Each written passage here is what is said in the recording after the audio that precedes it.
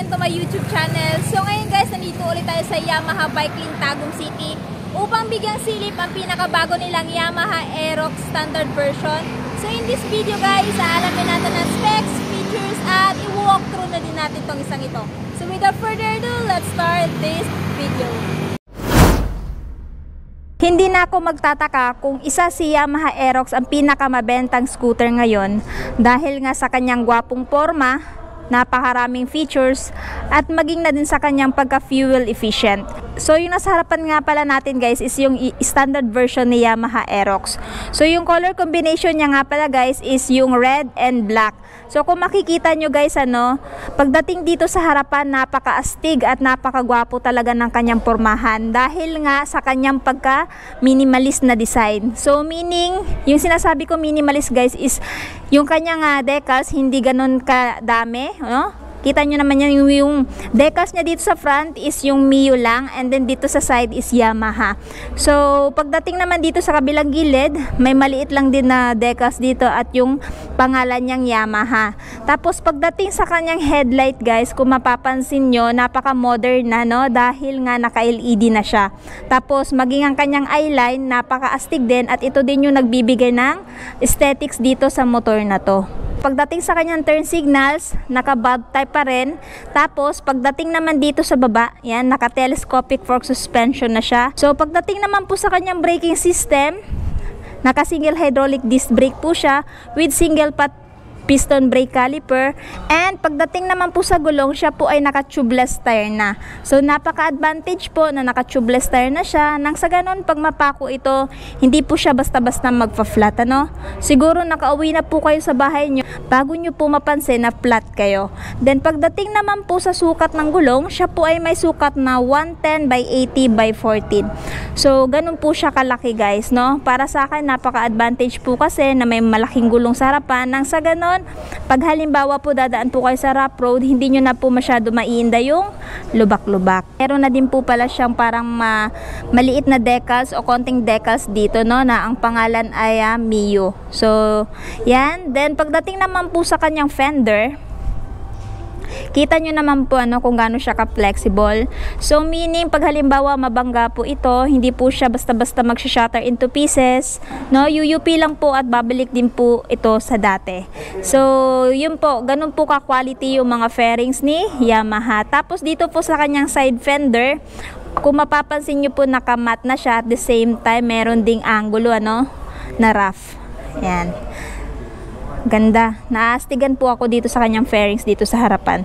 Then pagdating naman po dito, yan sa taas, Kung mapapansin nyo po, meron na po siyang maliit na visor, ano? Para po ito for uh, better aerodynamics pag halimbawa nasa high speed po kayo. Pero kung gusto nyo po itong um, palitan ng aftermarket, pwedeng pwede naman po. O kung gusto nyo po yung mas malapad pa nito. Pero para sa akin, mas chokes na to kasi na, mas maganda po kasi yung standard na mga fairings no kaysa dun sa mga aftermarket kasi quality quality na. Tapos, dito sa kabilang gilid, mapapansin nyo po may nakalagay dito na blue core.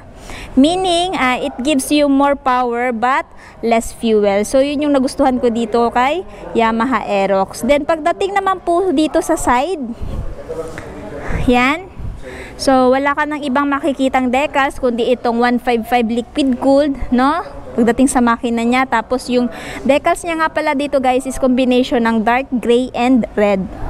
Yan. So, talagang minimalist lang ano. Tapos dito yung Yamaha. Then dito sa kabilang side, yan. Uh, may nakalagay dito na light gray na Aerox tapos VVA. So good thing equipped na siya ng VVA or variable valve actuation which gives you torque in low speed and power in high speed. So yun po yung uh, function ng VVA. Tapos dito sa gilid, yan po, minimalist din po na decals hanggang dito sa kanyang tail. Yan, may nakalagay na uh, 155. So, balik po tayo dito sa kanyang handlebar. Pagdating po sa kanyang handlebar, dito sa right side, no? Pagdating po sa kanyang mga grips, makapit po ano. Tapos pagdating naman po sa mga levers, yan, silver po, maging dito sa uh, left side, yan, silver din. Tapos equip na din pala siya guys na park brake lock, no? So meaning pag halimbawa nasa incline po kayo, no, pwede nyo po itong i-engage or i-activate nang sa ganon, pag halimbawa nasa incline kayo, hindi po basta-basta dadaos-dos yung motor ninyo. So, sa pag-engage po ng park brake lock guys, no? Uh, pihitin nyo po itong uh, lever na to, tapos i-push nyo. So, yan guys, naka-engage na yung kanyang park brake lock. Tapos, pag magre-release naman po kayo nito, uh, pihitin nyo lang po na madiin. So, yan po. So, yun po yung gamit ng park brake lock. Lalong-lalo na po sa incline na daan. Pwede nyo po itong magamit or i-engage. No? So ngayon, balik naman po tayo dito sa kanyang handlebar ulit. Yan. Dito sa right side, meron po siyang hazard lamp. Yan. Tapos sa uh, electric start. Tapos dito naman sa left side, meron po siya yung uh, high beam, low beam, turn signals at saka yung horn. Tapos pagdating po dito sa kanyang uh, dashboard ano, nandito po yung kanyang switch no sa menu. So i-check po natin mamaya. So dito muna po tayo sa kanyang uh, side mirror. Pagdating po sa kanyang side mirror guys, naka-typical dahon type siya. So yung signature talaga na side mirror ni Yamaha. So para sa akin napaka-advantage guys na may malaking siyang side mirror. Nang sa ganun, kitang-kita nyo po yung sa gilid nyo or sa likod mo. In that way, makakaiwas po kayo sa side sweep. So yung color niya nga pala guys is naka-inverted, no? So meaning yung background niya is hindi yung typical na white, kundi blue, no? Dark blue. Para sa akin, napaka-advantage nito. Nakakadagdag ng stylish dito sa motor na to. So, yung information na nandito guys is nandito yung time no? Napa, para sa akin napaka-advantage ng time nang sa ganun kung trabahante ka, hindi ka na kung saan-saan mag-check ng time mo, no? Tingin ka lang dito sa dashboard ng motor mo and you're good to go na. So napaka-convenient talaga na may time na tong si Aerox. Then pagdating dito, meron din siyang speedometer. Tapos aside from that, meron din po siyang uh, odometer. So meaning kung ilang kilometro na po yung natakbo ninyo. Meron na din siyang fuel gauge, guys. Tapos yung sinabi ko po kapala kanina regarding dun sa kanyang bottom button dito po sa left side. Nandito po yung push button, no? Ito yung menu. So, click natin. So, nandito yung trip 1, trip 2, trip F, F echo indicator, average F echo indicator, battery. So, para sa akin guys, napaka-advantage na meron siyang battery dito, no? Or uh, voltmeter nang sa ganon, no? Mache-check mo yung uh, battery health ng motor na to. Kasi napansin ko dito kay uh, Aerox, wala siyang kickstart. So, napaka-advantage na meron siyang uh, battery indicator dito, no? Na para ma-check nyo palagi yung battery health niya. Next, trip. So, bumalik na siya guys. No? So, napansin ko din, meron din siyang V-belt. Check natin ulit. At ah, meron din siyang oil. So meaning guys, pag halimbawa magpapa-change oil kayo, pwede nyo pong ah, i-set dito yung oil ninyo. Kung halimbawa 1,500 km bago kayo magpapa-change oil. No, pag na-reach nyo na po yung 1,500 km na yon, lalabas po itong oil indicator. So meaning, ah, dapat na magpalit na po kayo ng oil. Tapos pagdating naman dito sa baba, again, yung logo ni Yamaha, tapos yung high beam, low beam indicator, temperature indicator, at check engine indicator. So aside from that guys, no, tapos dito naman, ito yung kanyang ah, turn signals indicator sa right and turn signals indicator sa left. Yan. Tapos, dito naman tayo sa kanyang key. Kung mapapansin nyo guys, hindi pa po siya nakakiles kasi standard version po ito. So, naka-mechanical key pa rin po siya. So, equipped na din pala siya guys ng Yamaha Motorcycle Connect. Ito nga pala ay isang app na i-download mo sa phone mo at i-connect mo dito sa motor mo. Nang sa ganun makikita mo doon kung kailan yung uh, kung saan yung last parking position mo yung uh, kailan ka ulit mag-change oil no? At the same time yung maintenance ng motor mo. So makikita mo lahat doon sa kanyang app na Yamaha Motorcycle Connect. So pagdating naman dito sa kanyang uh, fuel tank guys check natin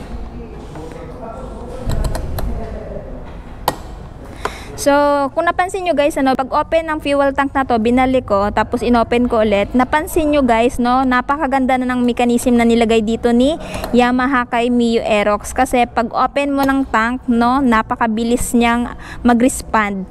Para sa akin, napakaganda nito at plus points to, lalong-lalo na sa mga uh, nagpaplanong bumili nitong motor na to. Meron siyang fuel tank capacity na 5.5 liters.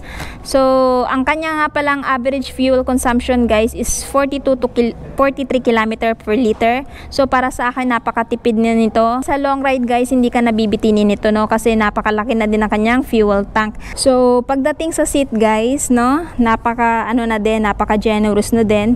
So sa mga long ride guys napakaganda nitong dalhin no relax na lang.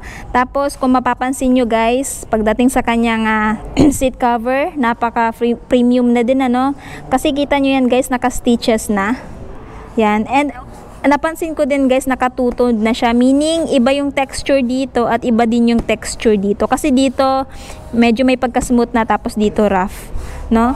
So pag halimbawa sa mga brake no hindi nadadaos-dos masyado yung puwet ng driver tapos may nakalagay na din ng Aerox. Yan. So ngayon i-check naman natin yung kanyang seat storage. Yan So, si Yamaha Aerox guys ay may malaking seat storage na may 24.5 liters. So, meaning kasyang-kasya dito yung full face helmet. So, marami na po kayong may lalagay dito guys, no? Hindi lang helmet, pati na din kung ano yung mga personal belongings na pwede nyo ilagay dito, eh may lalagay nyo, din, na, nyo na din dito. Pero kung hindi pa rin po kayo kontento, pwede din naman po kayong mag-upgrade, no? Maglagay kayo ng top box dito. So, yan. Tapos, sa mga nagtatanong sa battery, ito po. So, sa mga baha-baha guys, no, hindi niya na po kayo mamumroblema na baka mag-merge yung battery niya sa baha dahil napakataas na po ng lagayan ng kanyang battery. Yan. Click na natin. Pagdating naman sa apakan ng driver guys, kita nyo naman, no, may nakalagay na dito na parang rubber, no? Napakaganda na din. Tapos dito, meron na ding angulo. Nakamat pala yung kanyang fairings dito guys. Tapos ito yung apaka ng angkas. Yan. Tapos uh, equipped na din pala siya guys ng SMG meaning Smart Motor Generator. So pag halimbawa ini-start nyo yung engine nito guys, hindi nyo na maririnig yung engine sound. So tahimik na talaga yung kanyang tunog nitong si Yamaha Aerox uh, ah, 155. Then pagdating naman sa tambutso, So kita nyo naman guys, cover na talaga siya, no? Ito yung kanyang heat guard. So napakalapad na talaga ng kanyang heat guard, no? Nang sa ganun pagsasampa kayo or sasampa yung OBR nyo, hindi ka na problema na baka mapaso po kayo, no? So, pagdating naman sa taillight niya guys, kitang-kita niyo naman kung gaano siya ka-stylish ano. So, naka-LED na tong kanyang uh, taillights dito. Tapos dito sa turn signals, naka-halogen or bulb type pa rin. Tapos ang napansin ko din, though naka-extend yung kanyang, ha, uh, kanyang turn signals, hindi siya yung overextended, no? Para sa akin, tamang-tama lang to. Hindi na to uh, masasagi ng OBR nyo pag halimbawa sasakay siya dito kay Yamaha Aerox 155. Tapos, napansin ko din guys, meron na din siyang ilaw ng plaka, no? Yan. So, kitang-kita na yung ah, plate nyo pagkagabi dito dito sa kanyang ah, lagayan ng plate or yung plate holder. Tapos naka-reflectorize na din. Yan. So, napaka-advantage nito, dagdag visibility pagkagabi. Tapos, dito guys, napansin ko din, no, pagdating sa kanyang fairings, medyo malapit na sa gulong. So, napaka-advantage nito guys, pag halimbawa lulusong tong uh, gulong na to sa mga putik-putik, no, tapon lang diretso yung putik dito, and, uh, no, hindi ka na mamamroblema kung saan patatalsek. So, pagdating sa kanyang suspension sa likod guys, naka twin shock unit swing siya or dual shock unit swing, no? So, kita nyo naman guys. Pag tap, tapos dito sa kanyang braking system sa likod, naka drum brake siya. Yan. And sa mga nagtatanong, pagdating sa kanyang uh, rear tire, siya po ay may sukat na 140 by 70 by 14. So kita nyo naman guys, napakataba na ng kanyang tire. So sa mga uh, high speed, ano, stable na stable to at the same time napakakapit ng gulong na to, lalong lalo na sa espalto. Side stand, tapos yung center stand. So yung napansin ko lang guys is wala siya yung um, kickstart. Pero kahit ganun pa man, meron naman siyang uh, battery indicator doon. So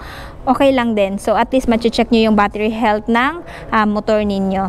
So, pagdating sa kanyang engine guys, siya ay uh, 155cc to be exact. Liquid cooled 4-stroke single overhead cam, 4-valve and single cylinder. Tapos, pagdating naman po sa kanyang max power, meron siyang max power na 11.3 kW at 8,000 RPM at max torque na 13.9 Newton meter at 6,500 RPM. So, kita nyo naman guys, no, sa mga long ride, hindi kayo tayo bibitinin nitong si Yamaha Aerox 155. Pagdating sa ganyang ground clearance guys, ano, meron siyang ground clearance na 145mm. So hindi siya ganun kataas at hindi din siya ganun kababa. So para sa akin tama lang guys, ano, hindi na siya basta-basta maabot ng mga malalaking bato or humps, no? Kasi pag halimbawa kasi mayroon kang mababang ground clearance, ang tendency niyan sasayad yung ilalim na bahagi ng motor ninyo or yung engine ninyo. Sa mga nagtatanong pagdating sa kanyang seat height guys, meron siyang seat height na 790mm. So sa height ko na 5'5 guys, kita nyo naman medyo naka-tiptoe tayo. So sa mga may matataas na height like mga 5'7, 5'8 no, bagay na bagay itong motor na to para sa inyo. Hanggang 6 nga, kayang-kaya tong motor na to eh, no? Kasi napakataas din ng kanyang seat height, maging ang kanyang ground clearance. Tapos, pagdating naman sa mga shorter height, no, 5 flat, kayang-kaya pa rin po ito abutin. Yun nga lang po is nakaangat po yung isang paa natin dito. Kung interested kayo dito sa motor na to guys, meron siyang cash price na 112,900. Tapos kung gusto nyo po ng hulugan, meron siyang down payment na 11,500. At uh, monthly amortization for 36 months na 5,276. Pero meron din po kayong pagpipilian guys kung gusto nyo ng 12 months or 24 months. So yan yung mga price niya. Yan.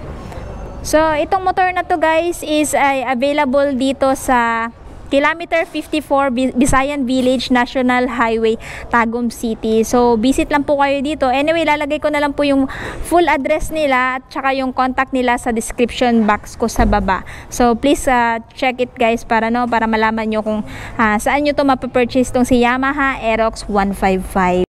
So, yun guys, uh, natapos na natin i-review at i-walk through tong si Yamaha Aerox 155. Kung may katanungan pa kayo regarding sa motor na to, comment lang kayo sa baba. At kung meron pa po kayong motor na gusto ipa-feature sa akin, comment lang din po kayo sa baba.